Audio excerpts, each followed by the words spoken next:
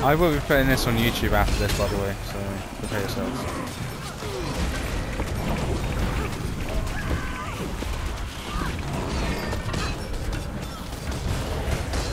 Replenishing.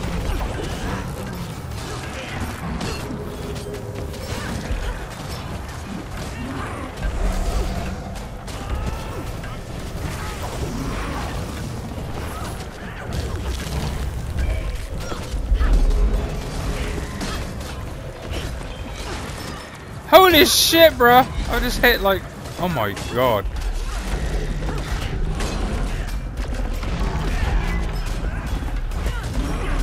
Did someone soak this thing in gasoline before we got here or what?